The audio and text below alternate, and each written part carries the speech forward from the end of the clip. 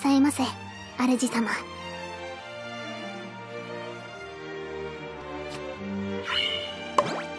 私からのプレゼントです。明日はこちらをご用意してお待ちしてますね。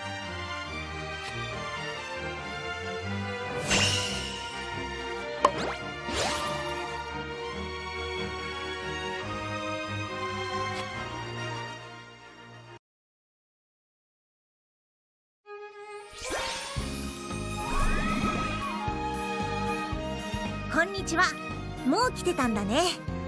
残念だな。待ち伏せしてあなたをからかおうと思ってたのに。それで私に何か用かな？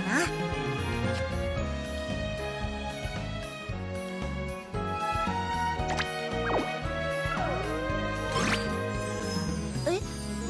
ありがたいけどどうして急に？あもしかして今日が私の誕生日だから？なるほど。プレゼント代わりというわけか。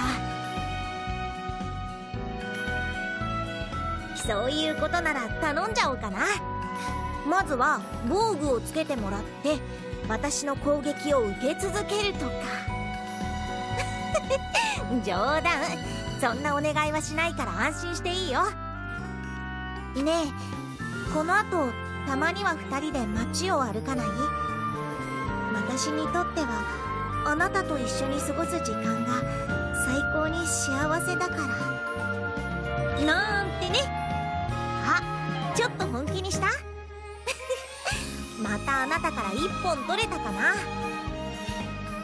てじゃあ今日は2人でゆっくり過ごすとしようか。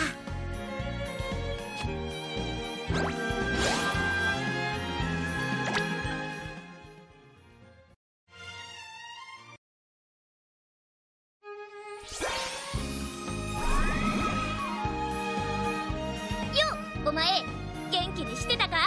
私は元気だぞ。えそれで？私に何か用か？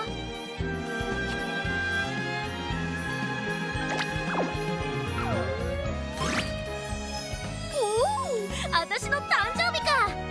ってちゃんはいらん。私はノエムだ。もう忘れるなよ。まあいいや。祝ってくれてありがとな。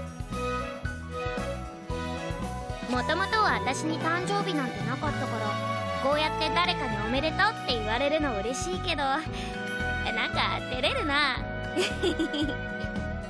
お前が祝ってくれるってことはさ私が生まれてきたのにも意味があったってことだよな。そう思えるくらい盛大に祝ってくれ。だっとな。